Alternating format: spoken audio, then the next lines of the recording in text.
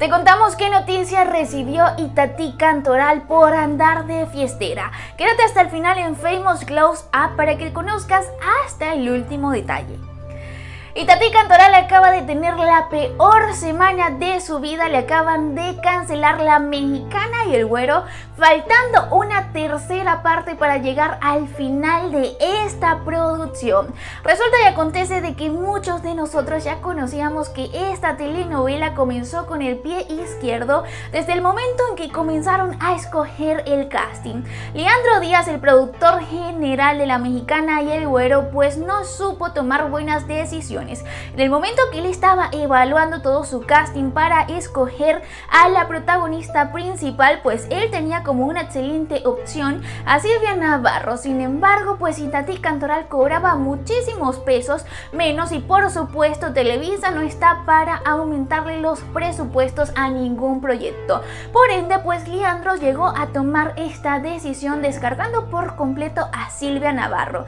En el momento que él estaba evaluando la situación, pues fueron muchísimas las personas quienes le aconsejaron que no tomara a Itati Cantoral porque esta mujer era una irresponsable y también pues que era muy problemática. Desde la semana número uno que la güera, que la mexicana y el güero salió al aire, pues los números en rating cayeron en picada al punto de que Televisa no soportaba ver el fracaso de esta producción en la cual estaba invirtiendo tanto dinero. A todo esto le sumamos pues que la mexicana y el güero se tuvo que paralizar en más de dos ocasiones. En la primera vez porque la madre de Itatí Cantoral había fallecido y por supuesto tenían que guardarle luto y darle unos días de descanso a esta mujer. Luego salió pues el rumor de que dentro de Televisa y dentro específicamente de la mexicana y el güero era un foco de contagios de esta enfermedad que está completamente de mudas.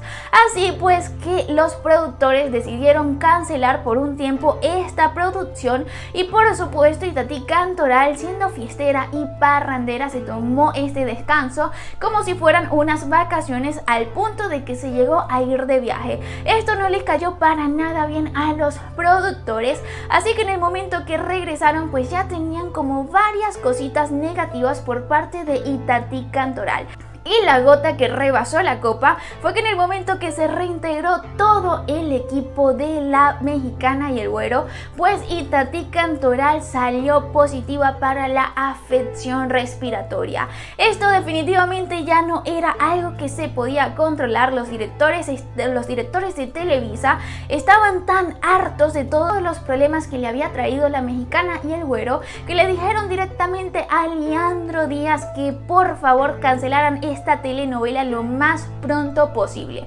No les estaba generando ganancias ni mucho menos rating y más que todo les estaba generando malos comentarios y sobre todo comentarios muy negativos para la televisión de San Ángel la cual se encuentra pues en el ojo del el huracán. A todo esto le sumamos pues que uno de los personajes quien también estaba actuando dentro de esta producción se trataría nada más y nada menos de Eleazar Gómez, el hombre quien está siendo acusado por no tener control y arremeter físicamente en contra de su novia Stephanie Valenzuela. Definitivamente Televisa tomó la mejor decisión que estaba en sus manos y por supuesto dentro de muy poco veremos en la pantalla chica el final de esta telenovela que fue un rotundo fracaso y por más que lo intentaron y lo intentaron no pudieron arrancar este proyecto para que surgiera algo positivo. De hecho pues no es la primera vez que se le ve a Itatí Cantoral envuelta en un lío de irresponsabilidades ni mucho menos de su personalidad de fiestera. En múltiples ocasiones ha salido a la prensa de que esta mujer es un poco grosera y altanera con algunas personas quienes la rodean, al punto de que ni siquiera el protagonista de la mexicana y el güero la soportaba. Este este argentino Soler. ¿Qué opinan ustedes acerca de todo este tema? Me encantaría leer sus comentarios aquí abajo y por supuesto nos vemos en la próxima de Famous Close